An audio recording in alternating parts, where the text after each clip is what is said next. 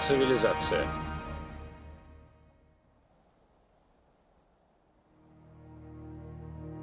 Машины войны.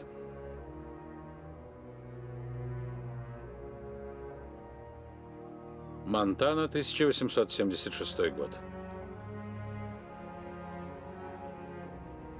Лагерь индейцев Сиу и северных Шайенов у реки Литл Бигхорн, во главе их вожди, сидящий бык, неистовый конь и желчный пузырь. Для американского правительства индейцы Великих Равнин оказались препятствием для экспансии на запад. Задачей армии было расчистить путь белому человеку до Тихого океана. В июне 1876 года генералу Джорджу Армстронгу Кастеру приказано оттеснить Сиу и Шаенов в правительственную резервацию.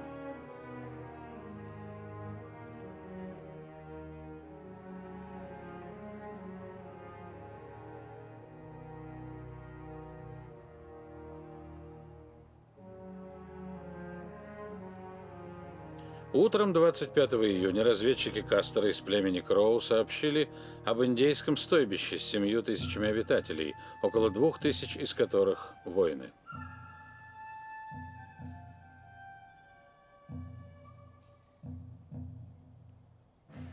У Кастера всего 600 всадников. Но он уверен, что дисциплина и огневая мощь современной армии превзойдут жалких дикарей. Он посылает две роты на разведку позиций индейцев. Одной командует майор Маркус Рино, другой капитан Фредерик Бентин.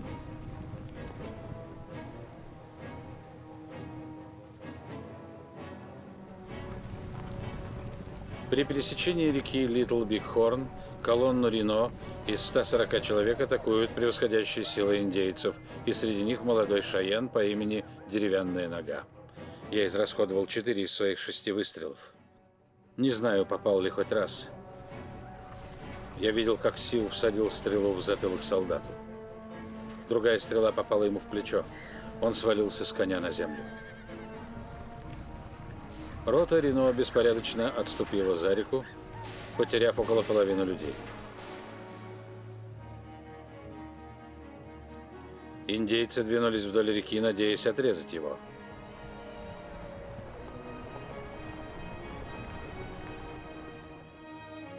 Кастер находился на холме над рекой, и его все сильнее отрезали от его двух рот.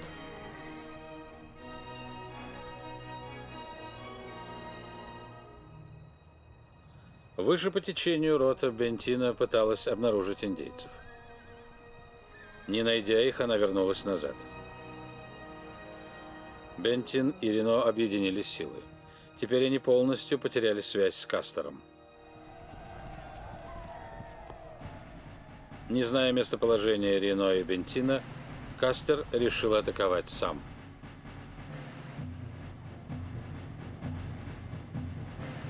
Воины желчного пузыря преследовали Рино. Но увидев, что Кастер атакует, они изменили направление.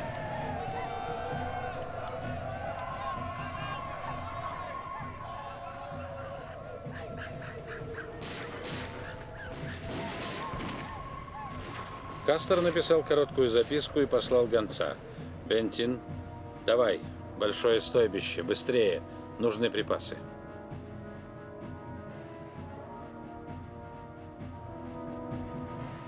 Земля была покрыта кустарником.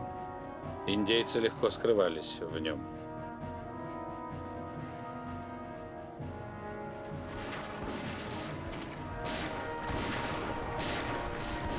Желчный пузырь послал к неистовому коню за подкреплением.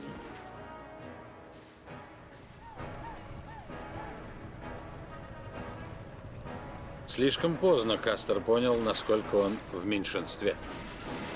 Бентин не подходил. Сражаться приходилось в одиночку.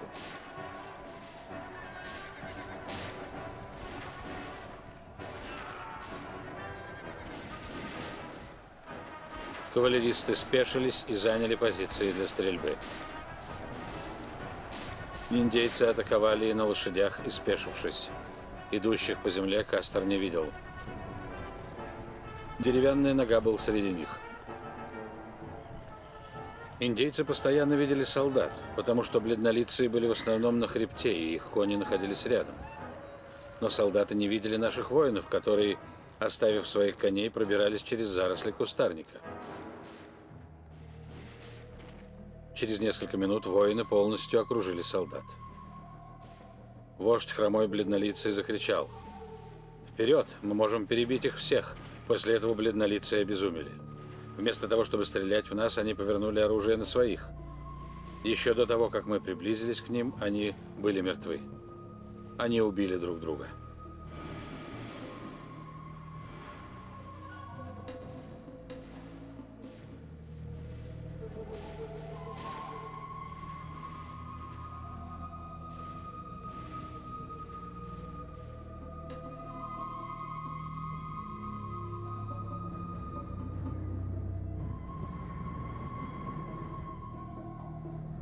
Индейцы выиграли битву, но им было не выиграть войну.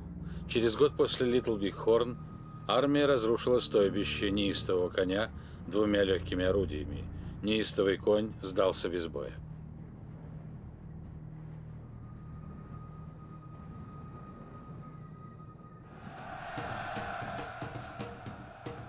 На другом континенте британцы боролись с последними сопротивлявшимися аборигенами Южной Африки. Зулусы под командой воина Ситивайо были последним препятствием для Британии.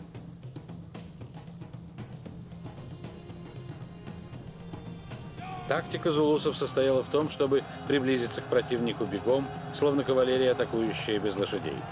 Когда зулусы метали свои копья в британцев, это напоминало схватку римских легионеров с армией стрелков. И иногда они побеждали. В январе 1879 года, через три года после Литл Биг Хорн, Сетивайо совершил неожиданный набег на Изандваны. 1700 британцев были убиты.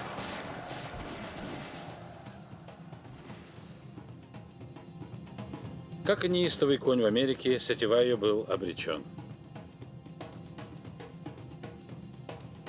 Через шесть месяцев он был разбит в. Для британцев это означало исчезновение черной военной опасности в Южной Африке.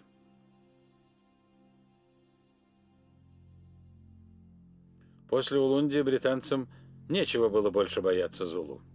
Но им угрожало и другое племя. Белое племя Африки – буры –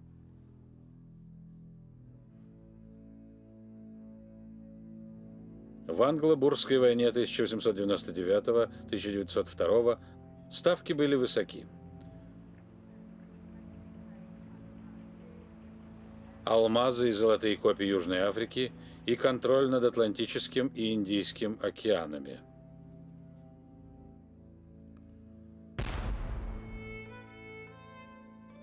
Буры были потомками голландских колонистов XVII века. Это были суровые независимые люди, доверявшие британцам не больше, чем африканцам. Буры были фермерами. Их вотчиной был вельт, широко раскинувшееся пространство, подобное степям Азии.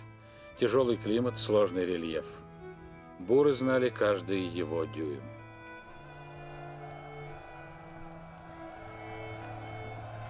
Они были прекрасными наездниками –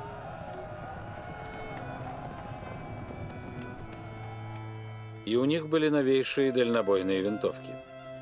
Буры были в массе своей лучшими стрелками, чем британцы.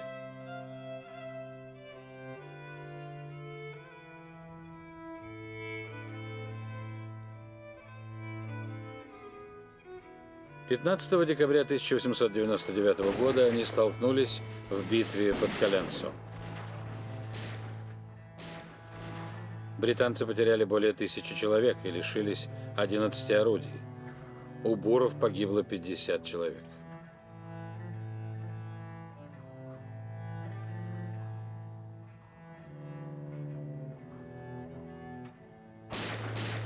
Пользуясь партизанской тактикой наскок-обход, буры выигрывали битву за битвой, раздражая правительство Британии, обещавшее короткую войну и возвращение войск к Рождеству.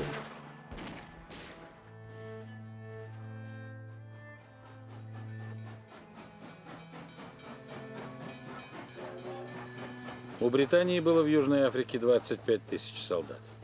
Постепенно число находящихся там британских солдат достигнет полумиллиона.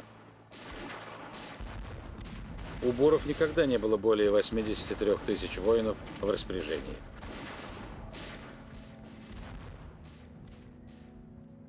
В ноябре 1899 буры начали осаду британского гарнизона в Лэдисмит.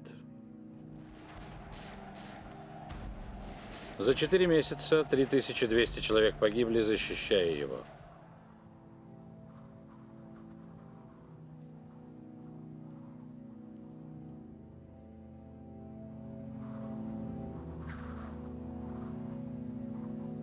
Но удача повернулась лицом к британцам.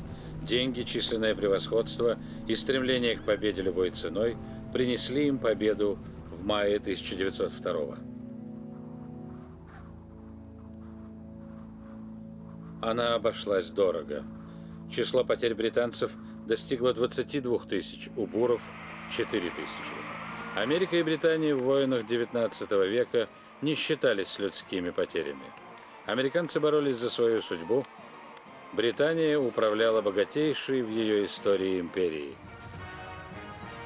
Войны и цивилизация. Войны и цивилизация.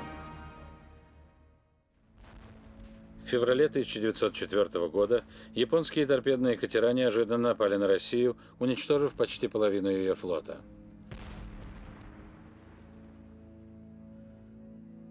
Без предупреждения, без объявления войны, умышленный и разрушительный акт агрессии.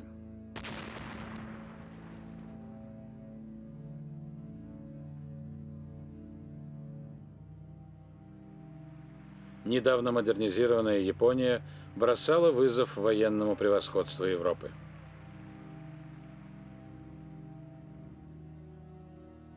Порт Артур был единственным круглый год незамерзающим портом России на Дальнем Востоке. 8 февраля японцы начали его осаду. С блокадой Порт-Артура российские подкрепления, спешившие из Европы, оставались без базы. Следующим шагом в военных планах японцев был разгром российской армии.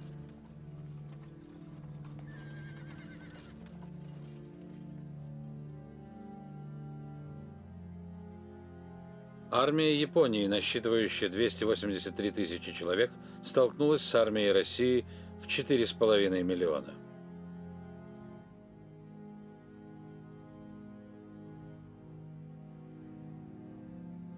Соотношение было 15 к 1.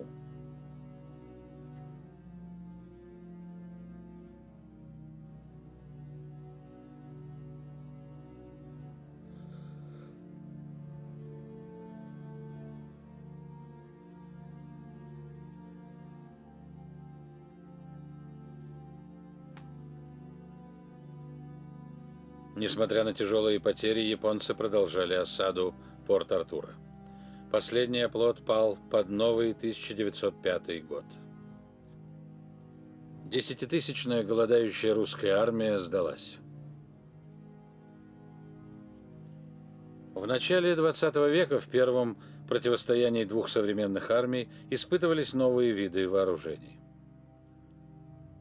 Один из них – дальнобойная артиллерия.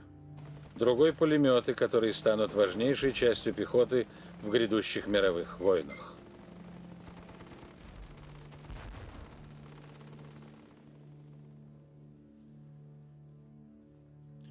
Японцы сражались бесстрашно. В Порт-Артуре они потеряли 59 тысяч человек против 31 тысячи погибших русских. Япония становилась грозной силой. Последним сражением русско-японской войны стала Цусимская битва, состоявшаяся 27 мая 1905 года.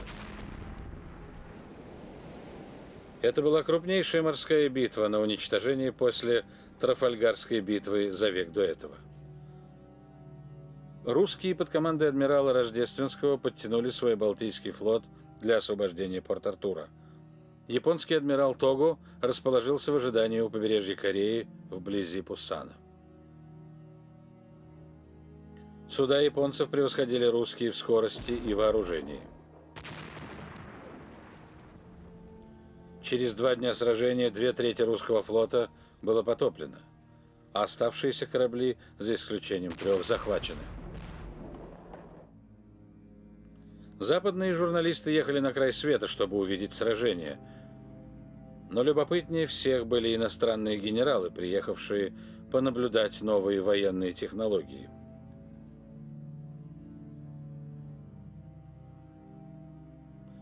Девять лет спустя люди, изображенные на фото, будут сражаться друг с другом в Первой мировой войне.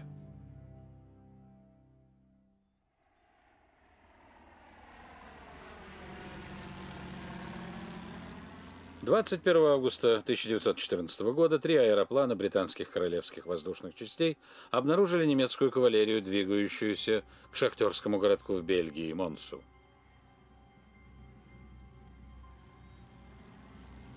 Аэроплан был недавним изобретением, но здесь, всего за неделю боевых действий, новая машина сыграла важную роль в войне, обнаружив немцев в неожиданном месте, в нейтральной Бельгии.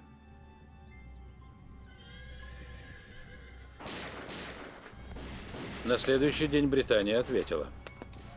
Всадники драгуна из гвардии атаковали немецких кирасиров, зарубили нескольких саблями и преследовали остальных, пока не столкнулись с немецким стрелковым батальоном на велосипедах.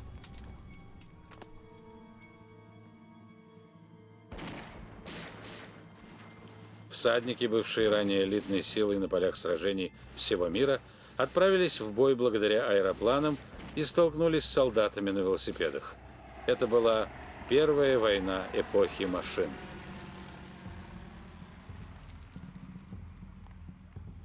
Германские части под Монсом попали на территорию нейтральной Бельгии не случайно. В этот день, в конце лета, немцы двигались в сторону Франции согласно четкой разработанной стратегии плану Шлиффена.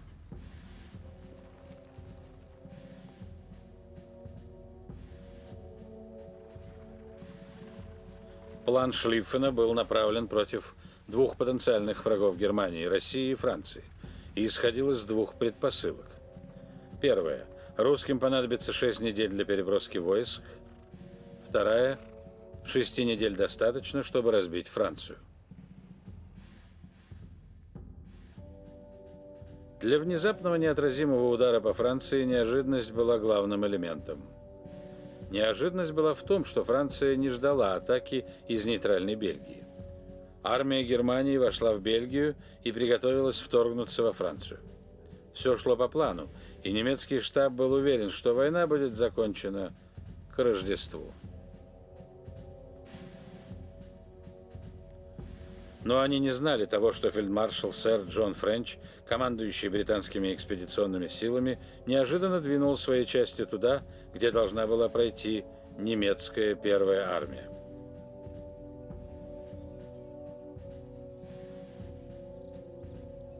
То утро над Монсом сияло солнце. Передний край британцев был хорошо замаскирован.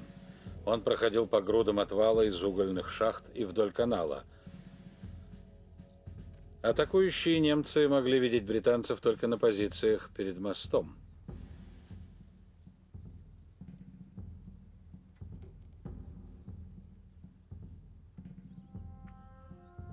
Именно здесь будет показан первый пример доблести в этой войне.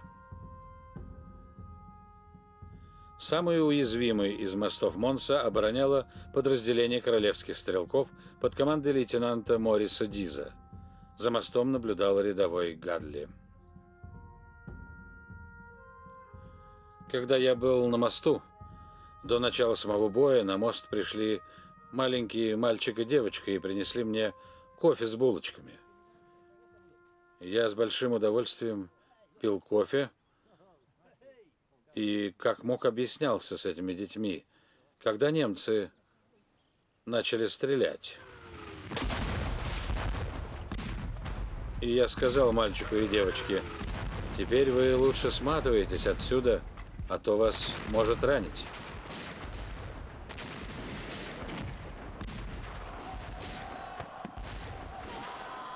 Стрельба усиливалась, и волны немецкой пехоты двинулись к мосту.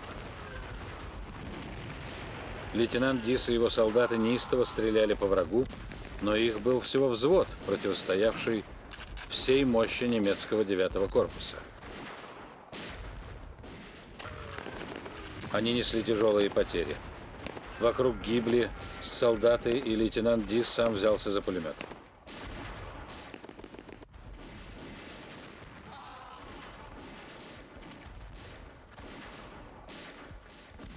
Вскоре он был убит. Командиром остался рядовой Гадли. Мы продержались до вечера, когда по линии пришел приказ отходить. Меня попросили остаться и удерживать позицию, прикрывая отход. Я это и сделал хотя был несколько раз серьезно ранен, но я смог продержаться. И я остался один на переднем крае боя.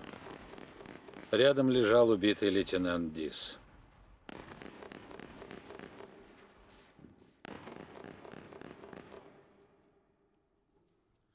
Рядом лежали мертвые товарищи, патроны закончились, и рядовой Гадли закончил сражаться, разрушив пулемет.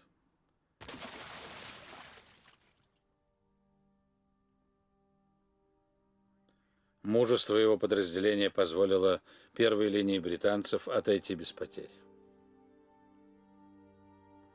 Рядовой Гадли попал в плен. Он был единственным, кто уцелел. Его и лейтенанта Диза наградили крестом Виктории, высшей наградой Британии за мужество.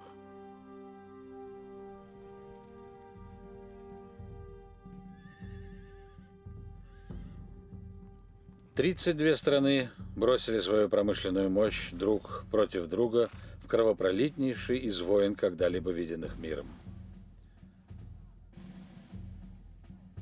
За 4 года и 3 месяца погибло 10 миллионов человек.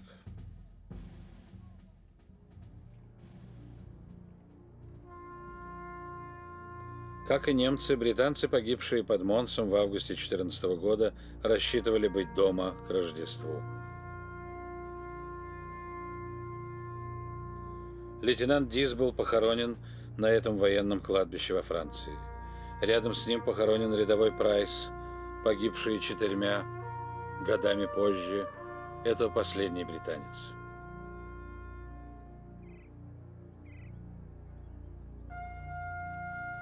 Лейтенант Дис не узнал ничего о горчичном газе, окопной войне, подводных лодках, танках и боевых самолетах. Для рядового Прайса, лежащего рядом, они были знакомой историей.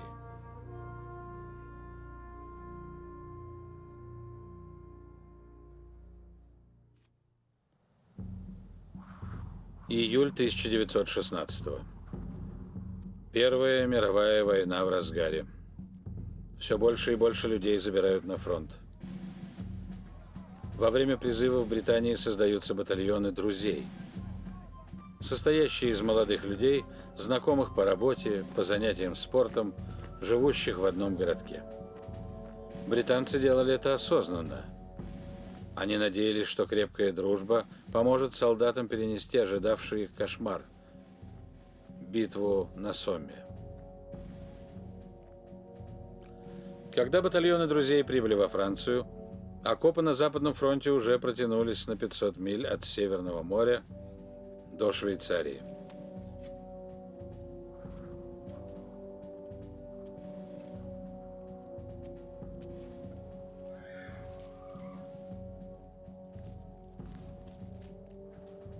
Вдоль всех траншей ряды колючей проволоки преграждали путь нападающим.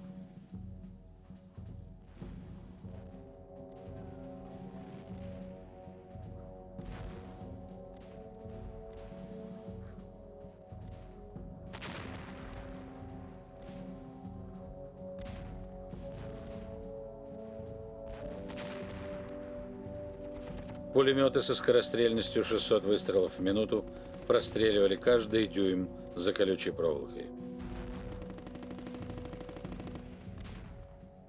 В этой войне атаки пехоты были самоубийственны.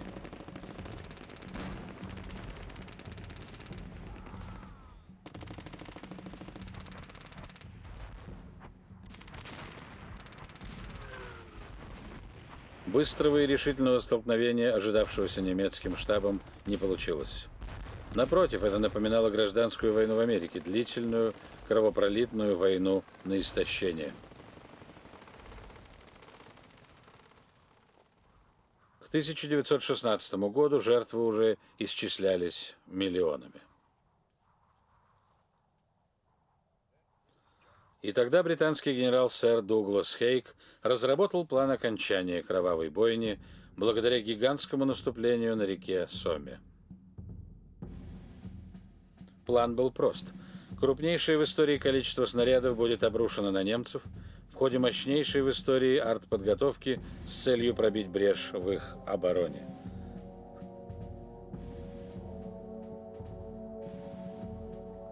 Затем британские войска двинутся в прорыв, чтобы захватить уцелевшие позиции немцев. Это была теория. Чтобы воплотить ее на практике, британцы мобилизовали промышленность. Они создали целую транспортную систему подвоза артиллерии на линию фронта. Как и прусские военачальники в XIX веке, они использовали железные дороги – и теперь с появлением двигателя внутреннего сгорания британцы могли рассчитывать на колесные и гусеничные машины разного размера для доставки на фронт боеприпасов.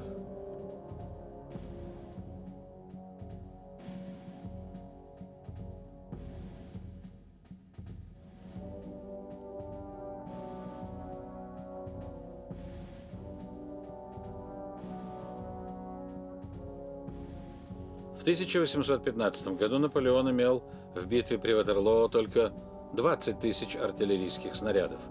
Британцы на Соме имели 3 миллиона.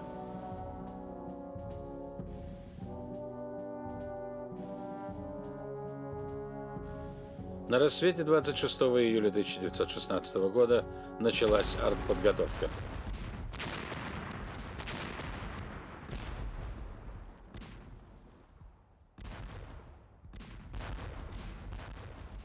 Британская артиллерия осыпала немецкие позиции градом снарядов от 18-фунтовой шрапнели до массивных 1400-фунтовых зарядов 15-дюймовых гаубиц. Это должно было продолжаться неделю.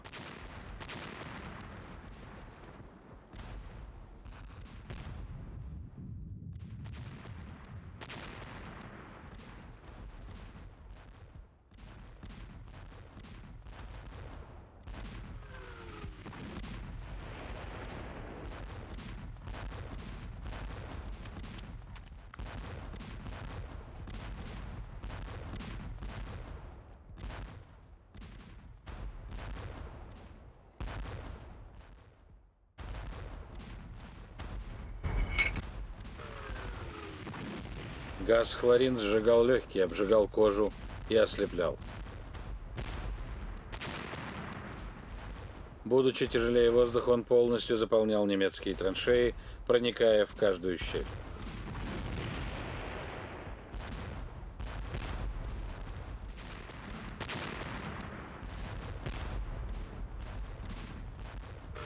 Британский обстрел продолжался 7 дней. Канонаду было слышно за Ла-Маншем в Лондоне.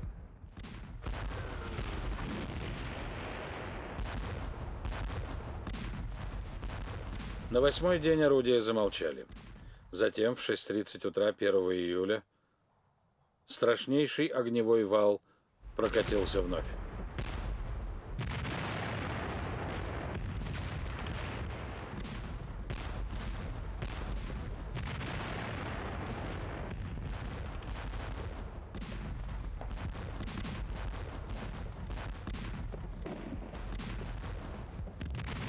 Рядовой Фрэнк Хоукинс из стрелков королевы Виктории видел, как был уничтожен целый лес перед ним. Целые деревья, вырванные с корнем, взлетали в воздух, и вскоре весь лес пылал. Наблюдая за его уничтожением, рядовой Хоукинс сделал глоток рома. Неожиданно орудия смолкли. На траншеи опустилась тишина.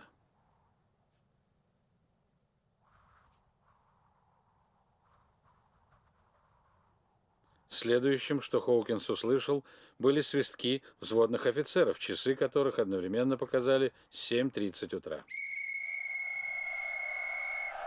Пришло время идти вперед. На протяжении фронта в 20 миль 200 тысяч британских солдат поднимались по лестницам из своих окопов и по нейтральной земле двигались на немцев. Атакующих возглавляли британские офицеры, нередко вооруженные лишь офицерским стеком или револьвером. Стрелки 16-го полка нортумберлендских стрелков шли вслед за футбольным мячом, брошенным вперед известным игроком. Настолько уверены были британцы, что огневой вал сделал свое дело. Но немцы копали окопы на совесть. Многие из них даже уцелели. Когда обстрел прекратился, немецкие пулеметчики схватили свое оружие и выбрались из укрытий.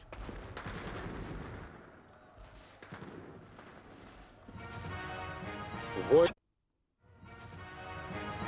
Войны и цивилизация. По слегка наклонной открытой местности нейтральной зоны британцы продвигались под градом пуль. Их косила цепь за цепью. Некоторые были убиты, как только высунули головы из траншей. Других искрошило в куски, когда они застряли в немецкой колючей проволоке.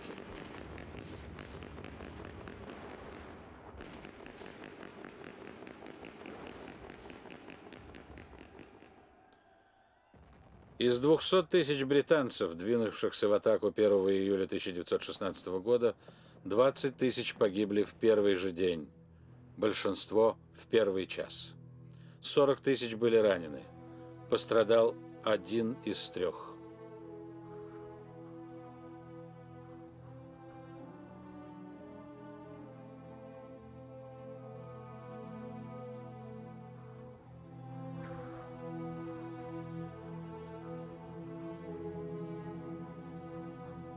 Это остается самым кровавым днем в длинной военной истории Британии. Те немногие, кто достиг немецких окопов, наткнулись на две линии резервных траншей, по-прежнему целых. Телефонные провода, неосмотрительно положенные через нейтральную зону, вскоре были перебиты немецкой артиллерией. Британцы были отрезаны, не имея возможности идти ни вперед, ни назад.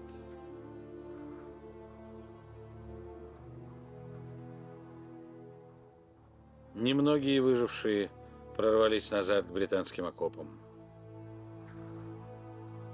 За их спиной воздух был наполнен воплями раненых. Их смогут подобрать только через три дня, 4 июля. К тому времени большинство умерло.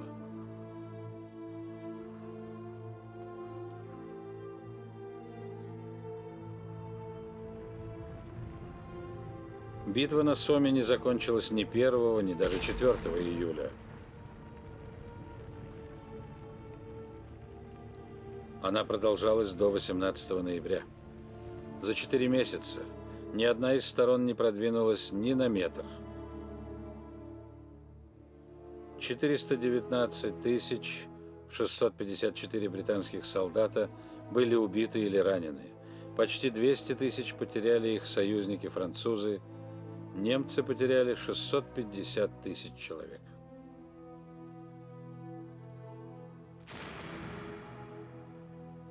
Были выпущены миллионы снарядов, но противостояние продолжалось.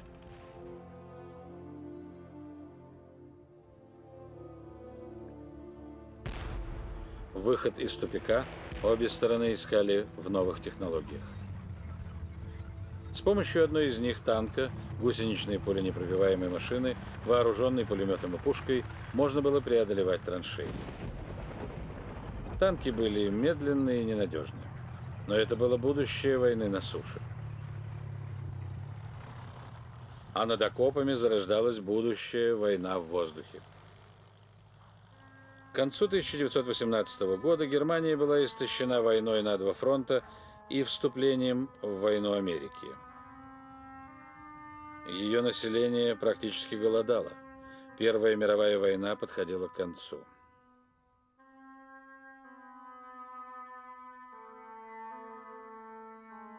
У обеих сторон уровень потерь среди пехоты был 200, а то и 300 процентов.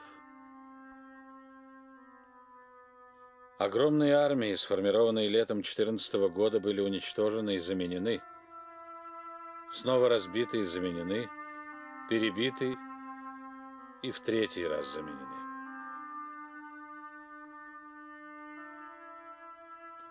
Погибло 10 миллионов солдат. 21 миллион был ранен.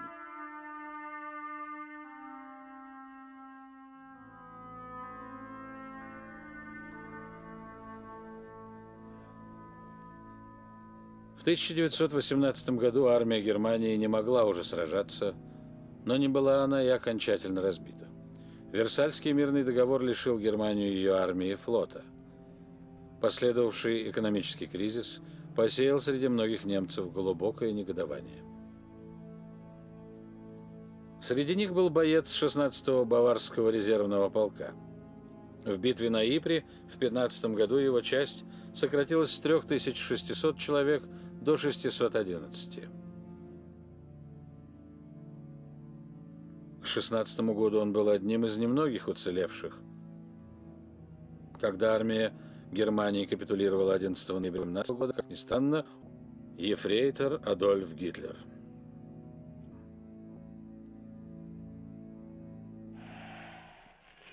Адольф Гитлер получил власть как лидер Германии Стратегия заключалась в молниеносности войны, Блицкриге.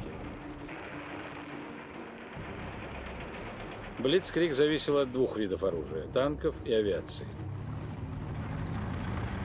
После Первой мировой они стали быстрее, больше и эффективнее. Теперь ими можно было управлять с помощью другой новинки – радио.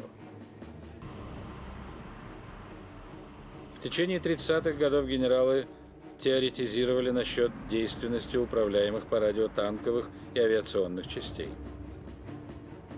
Германия Адольфа Гитлера первой воплотила теорию в практику. 1 сентября 1939 года немцы напали на Польшу. Они разгромили ее армию за недели, а авиацию за день.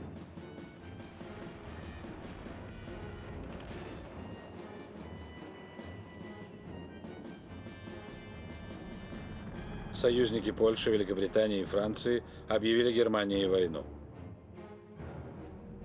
началась Вторая мировая война.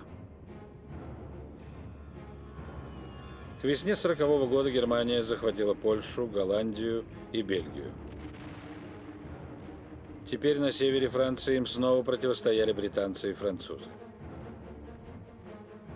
Готовясь к окопной войне, французы построили вдоль линии с Германией укрепленную линию – линию Мажино. Они были готовы сражаться, но времена окопной войны прошли. Никто не верил, что танки способны на прорыв, кроме немцев. В армии союзников было 2,5 миллиона солдат, но они были не в том месте. Германия собрала танки и бросила их на прорыв. Это заняло всего 4 дня. Блицкрик включал и другие способы быстро побеждать противника. Высадив воздушные десанты в тылу голландских войск, немцы еще более расширили военный потенциал самолета.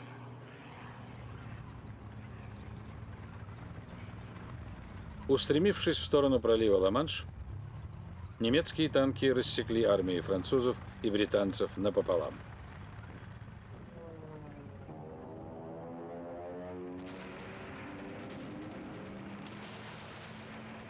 Сраженные невероятным напором немецкого наступления, союзники проиграли. Британия эвакуировала войска с материка.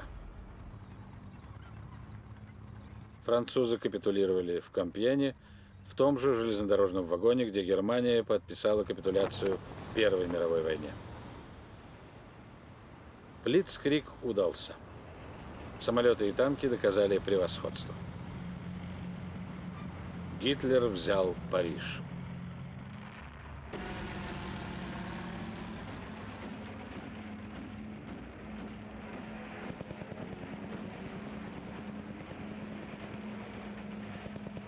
Пока британские истребители боролись с Люфтваффе в воздухе, Королевский флот защищал важнейшие морские линии.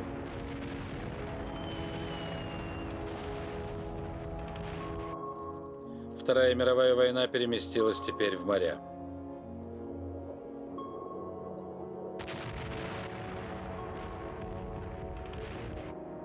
С помощью радаров и самолетов Британия упорно сражалась с немецкими субмаринами в Атлантике. Но важность воздушного господства в морской войне особенно проявилась в другом районе мира, на Тихом океане. 7 декабря 1941 года 360 японских самолетов поднялись с шести авианосцев и атаковали в Перл-Харборе Тихоокеанский флот США. Это напоминало японское нападение на русских в Порт-Артуре в 1904 году. За один день японская морская авиация на год вывела из строя весь Тихоокеанский флот.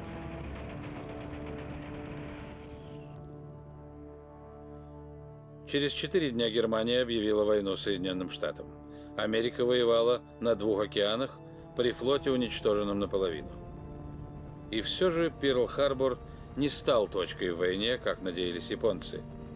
Во время налета часть американских кораблей была в море – это была важная часть авианосцы.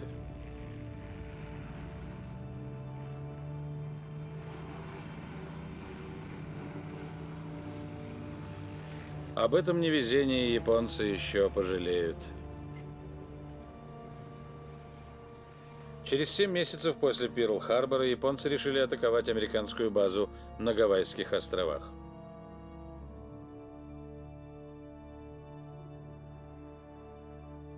Остров назывался Мидуэй.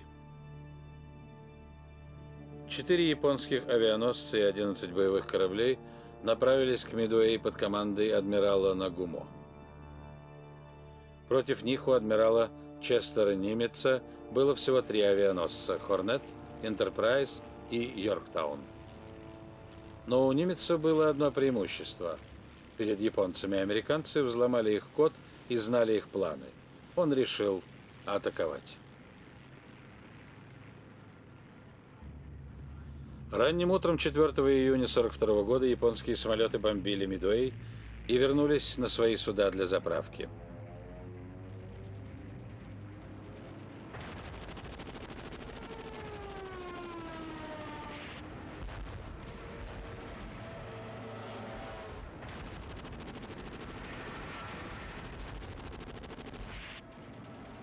В этот момент американцы подняли свои пикирующие бомбардировщики и торпедоносцы.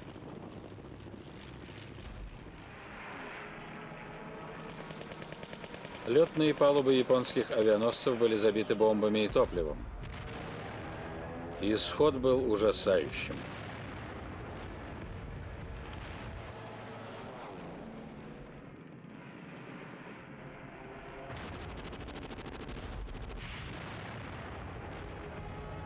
Концу дня авианесущий флот японцев был уничтожен.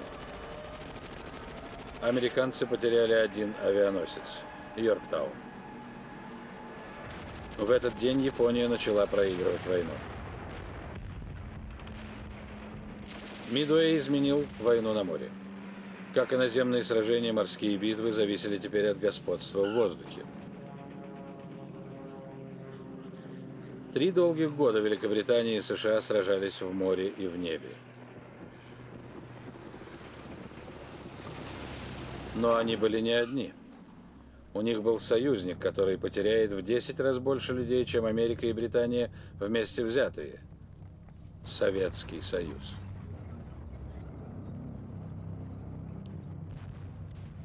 «22 июня 1941 года» 3 миллиона немецких солдат вторглись в Советский Союз по плану «Барбаросса», крупнейшей наступательной операции в истории.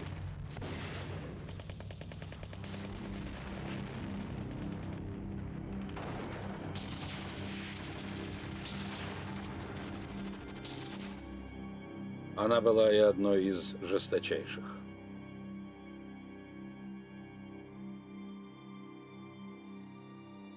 Гитлер считал население Восточной Европы «унтерменшен» – недочеловеками, недостойными жизни. Немцы специально не кормили и издевались над русскими пленными. Три с половиной миллиона умерли в плену. Продвигаясь на восток, нацисты расправлялись с евреями в каждом захваченном городе. Их выгоняли из домов, их избивали и их сгоняли в гетто. Покоренным народам Гитлер готовил особую судьбу – окончательное решение.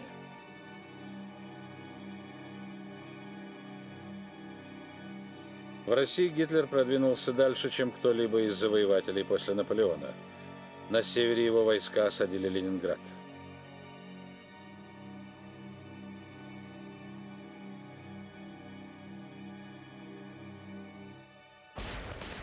а на юге на их пути был город, имя которого останется жить в истории войн – Сталинград.